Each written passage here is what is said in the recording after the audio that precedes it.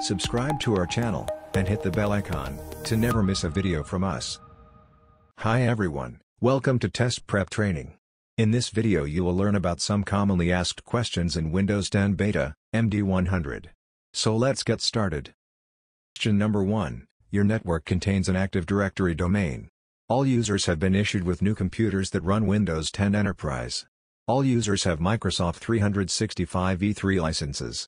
A user named Mia Hamm has an Active Directory user account named Mham and a computer named Computer 1. Mia Hamm reports that Computer 1 is not activated. You need to ensure that Mia Hamm can activate Computer 1. What should you do? Your options are A. Assign a Windows 10 Enterprise license to Mham, and then activate Computer 1. B. From the Microsoft Deployment Toolkit, redeploy Computer 1. C. From System Properties on Computer 1. Enter a volume license key, and then activate Computer 1. D. Instruct Mia Hamm to perform a local autopilot reset on Computer 1, and then activate Computer 1. The correct answer is, option D. You can refer the following for the explanation of the answer. Question number 2. Your network contains an Active Directory domain that is synced to a Microsoft Azure Active Directory tenant. The company plans to purchase computers pre-installed with Windows 10 Pro for all users. The company the following requirements, 1. The new computers must be upgraded to Windows 10 Enterprise automatically. 2. The new computers must be joined to Azure AD automatically when the user starts the new computers for the first time. 3. The users must not be required to accept the end-user license agreement. You need to deploy the new computers. What should you do? Your options are a. Make use of the wipe and load refresh deployment method. B. Perform in-place upgrade on the new computers. C. Provide provisioning packages for the new computers. D. Make use of Windows Autopilot. The correct answer is, option D. You can refer the following for the explanation of the answer. Question number 3, your company is not connected to the Internet. The company purchases several new computers with Windows 10 Pro for its users. None of the new computers are activated. You need to activate the computers without connecting the network to the internet. What should you do? Your options are A. Make use of the Volume Activation Management tool. B. Make use of the Key Management Service. C. Make use of the Windows Process Activation Service. D. Run the Get-WmiObject Query cmdlet. The correct answer is, option B. You can refer the following for the explanation of the answer. Question number 4. Your network contains an Active Directory domain. All users have been issued with computers that run Windows 8.1. A user named Mia Hamm has a computer named Computer 1. You upgrade Computer 1 to Windows 10 by performing a clean installation of Windows 10 without formatting the drives. You need to migrate the settings from Mia Hamm from Windows 8.1 to Windows 10. Which two actions should you perform?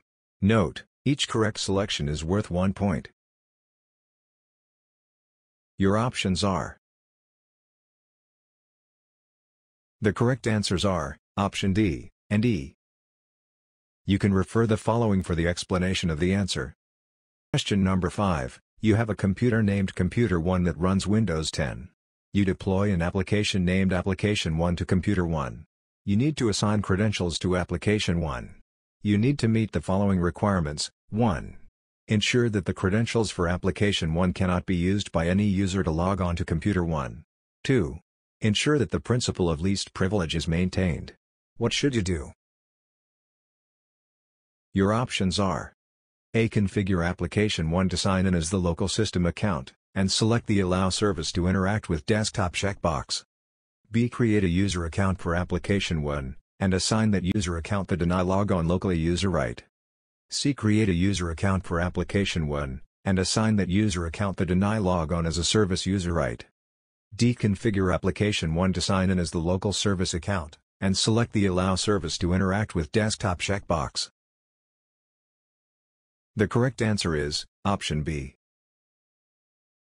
You can refer the following for the explanation of the answer. Question number 6, your network contains an Active Directory domain that is synced to a Microsoft Azure Active Directory tenant.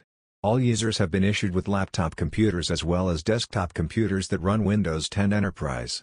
All users have Microsoft 365 E3 licenses. A user named Mia Hamm informs you that she must perform a BitLocker recovery on her laptop but she does not have her BitLocker recovery key. You need to ensure that Mia Hamm can perform a BitLocker recovery on her laptop. What should you do? Your options are A. Instruct Mia Hamm to log on to her desktop computer, and run the repair.exe command. B. Instruct Mia Hamm to use the BitLocker recovery password viewer to view the computer object of the laptop. C. Instruct Mia Hamm to log on to her desktop computer and go to the following, and view the user account profile. D. Instruct Mia Hamm to run the Enable BitLocker template on her laptop. The correct answer is, option C. Question number 7. Your company has an on-premises network that contains an Active Directory domain. The domain is synced to Microsoft Azure Active Directory. All computers in the domain run Windows 10 Enterprise. You have a computer named Computer 1 that has a folder named Folder 1. You must provide users in group named Group 1 with the ability to view the list of files in Folder 1. Your solution must ensure that the principle of least privilege is maintained. What should you do? Your options are A. Assign the full control permissions for the Folder 1 folder to Group 1. B. Assign the read permissions for the Folder 1 folder to Group 1. C. Assign the list folder permissions for the folder 1 folder to group 1. D. Assign the take ownership permissions for the folder 1 folder to group 1. The correct answer is, option C. Question number 8, you have a computer named Computer 1 that runs Windows 10. Computer 1 has a folder named the following. You need to meet the following requirements. 1. Log users that access the following. 2. Log users that modify and delete files in following. Which two actions should you perform? Your options are A. From the properties of the following, configure the auditing settings. B. From the properties of the following, select the encryption contents to secure data option. C. From the audit policy and the local group policy, configure audit directory service access. D. From the audit policy and the local group policy, you configure audit object access. E. From the audit policy and the local group policy, you configure audit system events. The correct answers are, option A, and D. Question number 9, your company has a computer named Computer 1 that runs Windows 10. Computer 1 is used to provide guests with access to the Internet. Computer 1 is a member of a workgroup. You want to configure Computer 1 to use a user account sign-in automatically when the computer is started. The user must not be prompted for a username and password. What should you do? Your options are A. Configure group policy preferences. B. Run the bcdboot command. C. Edit the registry. D. Run the msconfig command. The correct answer is, option C. Question number 10. Your network contains an Active Directory domain. The domain contains computers that run Windows 10.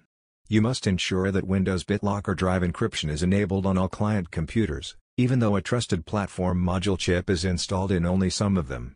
You need to accomplish this goal by using one group policy object. What should you do? Your options are A. Enable the Allow Enhanced Pins for Startup Policy setting, and select the Allow BitLocker without a compatible TPM checkbox. B. Enable the Enable use of BitLocker authentication requiring pre-boot keyboard input on Slate's policy setting, and select the Allow BitLocker without a compatible TPM checkbox. C. Enable the Require additional authentication at startup policy setting, and select the Allow BitLocker without a compatible TPM checkbox. D. Enable the control use of BitLocker on removable drives policy setting, and select the Allow BitLocker without a compatible TPM checkbox. The correct answer is, option C. You can refer the following for the explanation of the answer. For more such videos, subscribe to our channel.